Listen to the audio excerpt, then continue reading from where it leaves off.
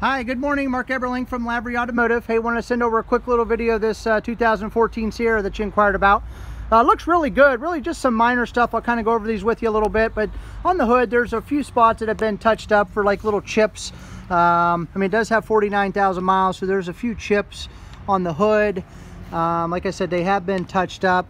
Uh, just kind of throughout there. There's a, a, little nick right here on the, uh, the chrome front bumper. Uh, it's actually chrome as we call it because it's not real chrome. Um, just a couple other chips on here that are pretty small and then a couple little ones here.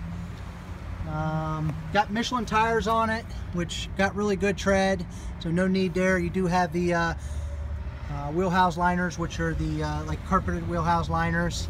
It's got the chrome wheels on it. Uh, it's got the uh, upgraded running boards, which those are like seven or eight hundred bucks for those running boards. Um, there's a scratch right here, which I can try to get that uh, kind of buffed out a little bit, maybe even touched up right there. And then there's just a couple little spots on the uh, on the driver's side rear, which I'll show you, but nothing major. Do a little look at the back tires. Um, frame and everything looks really good. Like I said, this was down southern West Virginia, so um, a lot less snow and salt than we use. Uh, if you take a look at the inside, it's got the uh, Cocoa Dune interior, which is power seats on both sides. Uh, these are heated. It's got the touchscreen radio. Power adjustable pedals, got USB plug-ins, 110 volt outlet in there. Uh, definitely a non-smoker though inside. Look at the back. Seats are good. There's no like, you know, car seat marks or booster seat marks from kids in the back. Carpets all look really good. Uh, does have a uh, like a, a, hard tonneau cover, which it's I'm not sure if it's metal or what it's made out of. But it does have the bed liner, and then I got uh, the rubberized floor mats for it and everything.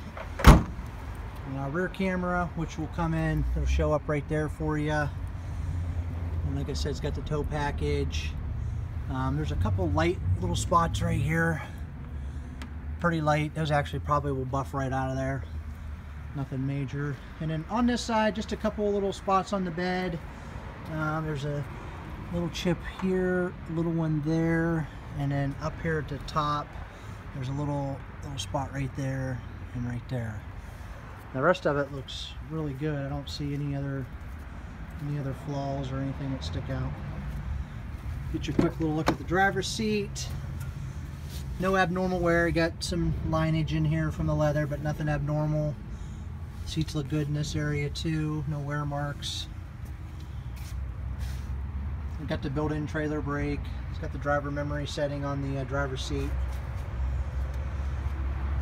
Anyways, I hope you enjoyed the video. Any other questions, uh, give me a call 330-680-3032. Thank you.